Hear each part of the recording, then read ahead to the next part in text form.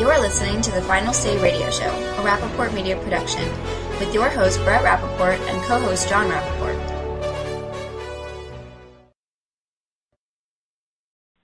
Uh, we've got Congressman Steve King joining us from the great state of Iowa.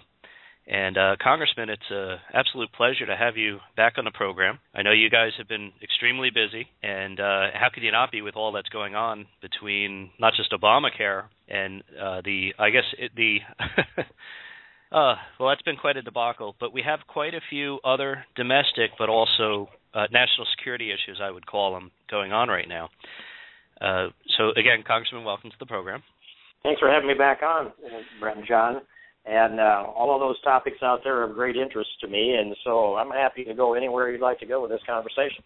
Sure. Well, if we can, and I don't want to spend too much time on it because it's already been covered so much, but I'd like to get a, a few comments on it. And it, you know, we beyond the website, there's more to it than just the website. I mean, that's just a matter of being an embarrassment. But the fact is, and I know that you've been behind this since the very beginning, along with us, that there are issues with the not only the law itself, but the idea of government being involved in in another program that encompasses such a large piece of our economy, and then throw in that disturbing the doctor-patient relationship, and that's what we've been arguing this whole time. It's it's be, way beyond the website. That the the fundamental problems can't be fixed. Well, Brett, that's that's right, and I'm glad you phrased it that way. Way beyond the website is what I, I think the American people need to be thinking about.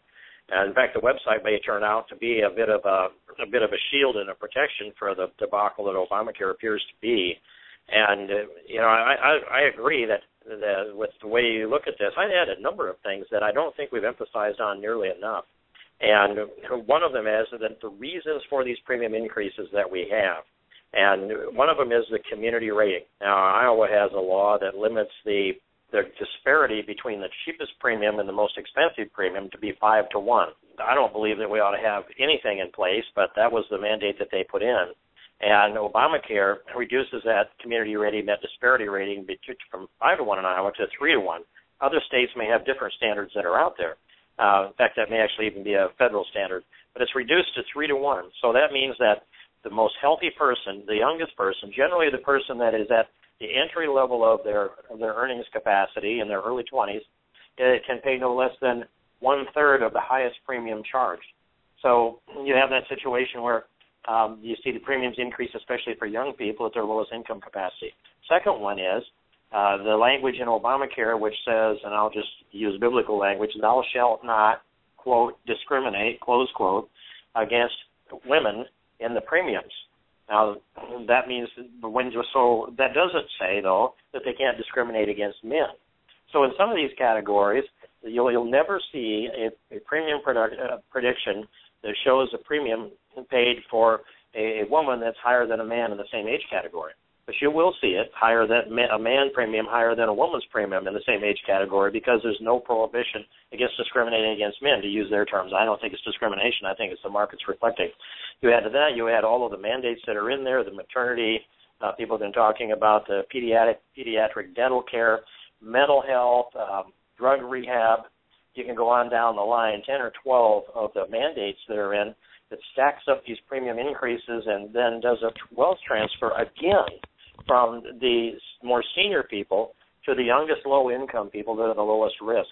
And it's not a lot different than what goes on in the policies that take place today between Social Security and Medicare from that perspective.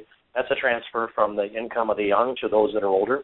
And we have been, my generation, has been passing the um, the burden of the costs of our standard of living off to the next generations. And I often say those children yet to be born. But now we have the children that have been born that are coming into the workplace are going to be paying the freight for the health insurance premiums of those that are older than they are, who are of greater risk and of higher income on average. That's right. Now, when I look at this whole issue and I relate it to so many of the other issues that that we analyze, I look at it from first the constitutionality of it, and secondly the cost of of what's going on here, and and who what what area is better managing it. I, I feel in most cases the public, I'm sorry, the private sector is a better manager. But when I look at this, I don't see how we have managed to control the cost in any way here, and I think I think it's very evident, and it'll become even more evident as this continues to roll out. But at, at, how, do, how does this administration explain that one? And and secondarily, uh, you know, we're all aware of how this was sold to begin with, and I, I don't know how, what you'd like to comment on that area, but I, I saw last night the president came out and you know it gave his best effort, I suppose, of an apology to the American people. But one, do you think that was an apology, and do you think what he said was satisfactory? I think that what he said was calculated in the White House, and I think it was driven by his aides that said, "You're losing it among the American people, Mr. President. You're going to have to do something to uh, fix the breach in the dam here, where it's starting to it's starting to overflow."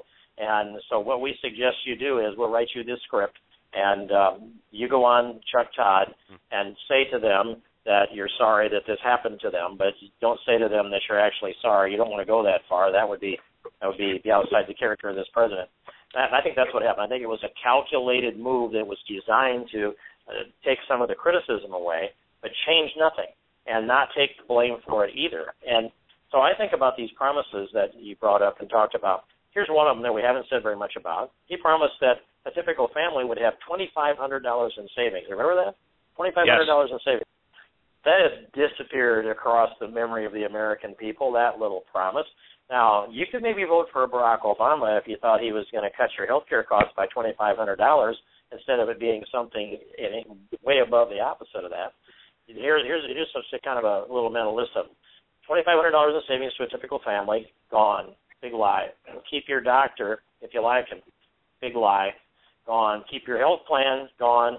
And by the way, he said he wasn't going to sign a bill that added one dime to the national debt. It was actually going to lower the national debt. Big lie. And he also said it wasn't a tax. Uh, but it wasn't a tax for the purposes of selling it to the American people, but it was a tax for the purposes of saving it from a Supreme Court decision. And now, of course, they have to embrace the idea that the no tax plan is a tax plan and they also said it would hardly affect anyone, and that doctors would love it, and that and he demonized the large insurance companies, and that was the reason why they said they had to pass Obamacare because big big insurance companies were victimizing the American people. You didn't have enough choices. He wanted to provide another choice for you out there that would be, initially remember, a competing national health care policy that could go into the marketplace to compete against the private ones. He couldn't get that done um, because for political reasons. So he just blames it on the insurance companies. And still, the talking points for Democrats over the last two weeks have been the reason your premiums are going up are because insurance companies are capitalizing on all of the doubt and the unknown and the indecision. So they're adding to the premiums and taking advantage of this like greedy capitalists will, which we know is a lie. There is a limit written into Obamacare that insurance companies must pay out 80%, a minimum of 80% of their premiums that they collect into claims and they can use only 20% for administrative costs. So that's another lie. Um, and I, what I compared it to was, in my lifetime, I can remember the allegations of presidents lying. Richard Nixon accused of lying. He did. He lost his job over that. And then I'm, I'm going to skip through um, Reagan for for good reason, and actually Jimmy Carter. I don't think Jimmy Carter came out and willfully lied. I don't think Reagan did, and I don't think it was a big issue. But when you got to George H. W. Bush, who said at the national convention, "Read my lips, no new taxes." Uh, then, when he decided that he needed to accept the tax increase of 140 billion dollars in order to get the spending cuts that never came, he came before the American people and said, "I'm sorry, I have to do this, but prudence dictates that I sign this bill." Well, he got, yes. of course, the tax increases, not the spending cuts, but he got accused of lying. Well, W. H. W. Bush did not lie. Bush 41 did not lie but what he said he didn't he didn't keep his word. And that's a little bit different. And then then go through. I don't need to dwell on Bill Clinton. Everybody knows how blatant that was. Uh, so you skip through Monica Lewinsky and go to Bush 43, George W. But it was accused of lying in his State of the Union address, know, when he said that we have the British have learned that the Iraqis are seeking uranium in Africa. That 16 words is how they characterized it. This was a lie that George Bush used that to go into war against Iraq. Well, I will tell you that I know, and I have in my possession, and certainly had my hands on the now declassified but still redacted CIA debrief of Ambassador Joe Wilson, who went to Africa to determine whether the Iraqis were seeking yellow cake uranium and came back and told the CIA, yes, they are. I have proven it. And for some reason, Ambassador Joe Wilson did a 180 and spent four years, he and Valerie Plame, calling George W. Bush a liar when the record shows that it was Joe Wilson who was a liar, not George W. Bush. So there's been a high penalty for things that were inaccurate. Even if they were actually true, they get accused of lying, there was a high penalty for it. Now, we have a president who has multiple times uh, uttered a calculated lie to the American people, and after he is found out because the because of what's happened with the implementation, then mm-hmm. he tried to cover it up with another lie. Said what we said was that if you have if your policy didn't change after the bill took effect, then you can keep it. You know, they never said that. That's another lie, a lie on top of a lie. And the consequence for this needs to be high, or history is history is going to read this thing, I think, and I think he's branded forever with it. That's right, uh, Congressman. I, I think you said some very key things here. Uh, one is uh, I'm glad that you brought up the difference between what Bush had said with the no new taxes and, the comparison to uh, President Obama.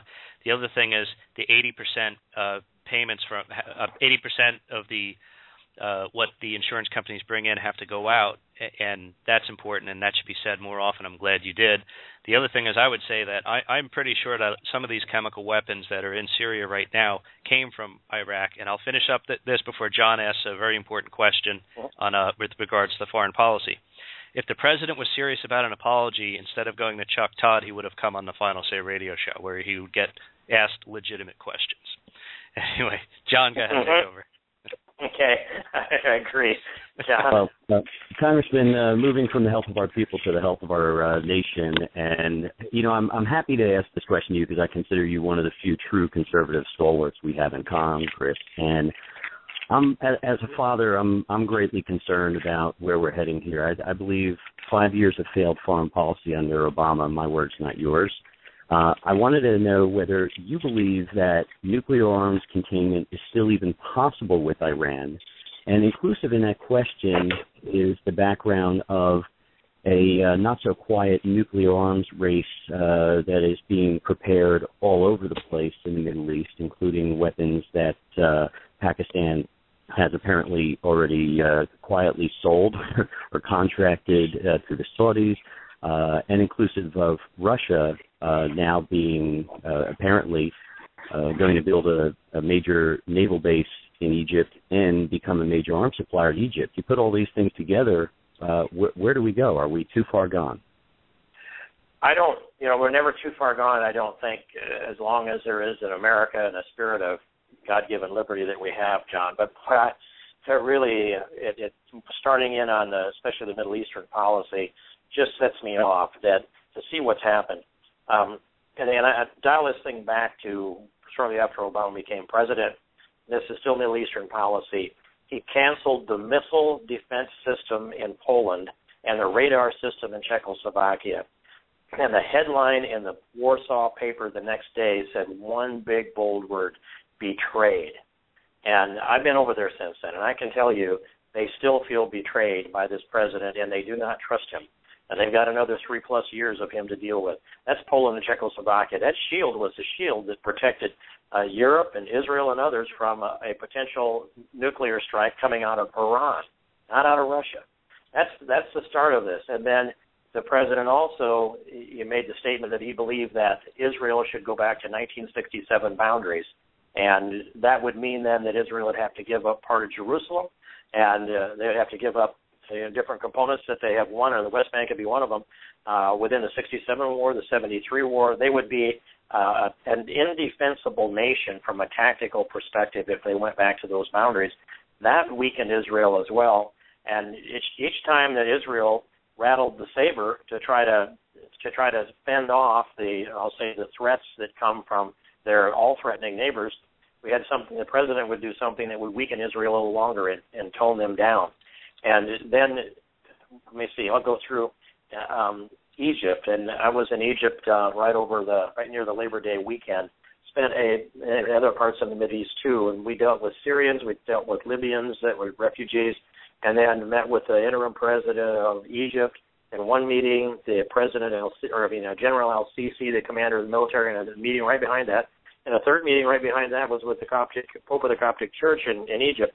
We had those were the highest level meetings, the three highest you could have in Egypt, all back to back. And then we had many meetings that went on early in the morning and late at night, some clandestine, some not, but people that had been on the ground that we knew and trusted that put this all into perspective. Remember that Barack Obama gave a speech in Cairo to the Muslim world, is what it was designed to be, June 9th of 2009. In the front row, he seated the leadership of the Muslim Brotherhood. The Muslim Brotherhood had been outlined by by Mubarak, and so that sent the message throughout Egypt that and the Arab world that Barack Obama supported the Muslim Brotherhood. Shortly thereafter, Morsi rose to power. They deposed Mubarak. Morsi rose to power partly on the push that came from Barack Obama. Morsi, the face, the voice, and the strong arm power of Muslim Brotherhood in Egypt, and they set about closing down the opportunity to ever have an election again in Egypt. And so then the people rose up to the streets, and over 30 million of them came to the streets. Population of 80 to 83 million in Egypt, over 30 million came to the streets to demonstrate in a generally peaceful way to move Morsi out. And they pleaded with the military to help them. They finally did. They moved Morsi out. Now he's been arrested, along with many of the leaders of the Muslim Brotherhood in Egypt. Barack Obama was completely on the wrong side of that. Oh, and also Mubarak was still in power, after the president's speech in Cairo, you had Hillary Clinton, then Secretary of State, say Mubarak needs to be gone yesterday. And that's a quote. Mubarak needs to be gone yesterday. Close quote. Well, that rocketed through the Egyptian world. They didn't know why Barack Obama was supporting Muslim Brotherhood. They still don't know why. And now that the Muslim Brotherhood has been deposed, Morsi and others, and the voice of the Egyptian people is being heard, and they're setting up for a constitutional election and an election uh, to put a civilian government in place. I, and General Sisi looked me in the eye and said, "I will, and our military will submit to a civilian command for our military, just as we are in this country." That's the right direction. So Egypt, the, the if you figured that 100% of the bonds that we had with Egypt, that that was that was our baseline when Barack Obama became president. I will tell you directly out of the heart of Egypt, people I know and trust that know that policy. They say 98% of our relationship with Egypt has been destroyed by by the Barack Obama administration. So, and there, and Egypt is is essential to any relationship we have throughout the Middle East, going east and west of of, of Egypt, all across the Mediterranean, all the way across uh, over to Pakistan. And so that's what he's done with Egypt in Syria. He got on the wrong side of the issue, and it really took Putin to save him and that that has saved his policy to some degree in Syria, at least delayed it for now. But the but the price for that is that Putin gets stronger, the Russians get stronger, and they build their relationships with Egypt to to mount this effort that you talked about in Egypt. Their influence in the Middle East is stronger. Their influence in Saudi Arabia is stronger. We have lost a tremendous amount with the foreign policy fumblings and bumblings, and now the, the very survival of Israel is at stake. And I want to say to the American people, and I hope that a message echoes across to the Israelis and Benjamin Netanyahu. If Israel, I think right now, has been forced into the situation where they will have to militarily strike Iran's nuclear capability if they can still pull that mission off. And, and other than that, they have to draw a conclusion. Here, here's this. Barack Obama will never order a military strike against Iran's nuclear capability. He will never do that and we should know that. We should have known that two or three years ago, and I think I did. Now it's absolutely confirmed. And so the Israelis have to conclude can they survive another three years and without a nuclear strike on them from Iran? And if so, will America elect a president that will eliminate Iran's then existing nuclear capability, future existing nuclear capability and, and delivery system? I'd say if you're Benjamin Netanyahu and a wise Knesset, you would say we have no choice now. We've got to do. We've got to order a military strike to knock out Iran's military capability. I want to send this message to the Israelis. If you do that, I stand with you. Much of the United States Congress stands with you. And even though I don't expect the president will, uh, we're we're going to stand with Israel. So that's that's how it sounds. That's how it is to me, and that's how I see it from my perspective. There's more I would say about it, but it is a is a, it is a debacle of foreign policy from Poland to Czechoslovakia to all the way through the Middle East into Iraq, Iran, Saudi Arabia, uh, and clear over to Afghanistan and Pakistan. You couldn't have painted this scenario much worse unless you just painted it as a nuclear war going on, and we know it's a nuclear arms race in the Middle East, John. No, that's absolutely right, uh, Congressman. I, I we're going to end it on that because I don't think there's anything else we could say that's uh, any more important than the statement you just made, and I think that most Americans stand behind Israel. I don't know where this president's head is, or John Kerry, or maybe even Hagel for that matter but uh, it, it's a very, very difficult situation that our friends in Israel find themselves in. And by the way, just uh, before we let you go, John and I just got back from Israel. We spent two and a half weeks there. Well, he was actually there for three. We went all over the entire country and saw every strategic uh, uh, um, landmark, if you will, and recognize clearly how dangerous it would be to return, or, or not return, but to give up any land to anyone for that matter. It is totally against the natural national security interest of Israel and could be detrimental to that nation, and they can't do it. John, you're right. Once you see that, you can't draw another conclusion. Once you stand on that military outpost and uh, you see the the road sign that says so many kilometers to Damascus, so many to Jerusalem, uh, you start looking around there and you realize how how tight and how compact that is they only have seconds to react to defend themselves. They have to do preemptive action. So I'm glad you've seen it. That makes a big difference when you've been there on that ground.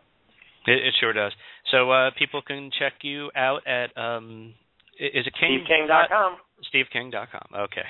Mm-hmm. Excellent, Congressman. It's a pleasure as always. We wish you uh, luck, and we know that you will continue to fight not just for your district but for the American people for the American people, God and country, and the state and district in that order. Thank you so much, John and Brett. Okay, take it easy. Bye. Uh, another uh, excellent, excellent interview with the congressman. Just very thoughtful and important things that he had to share with us.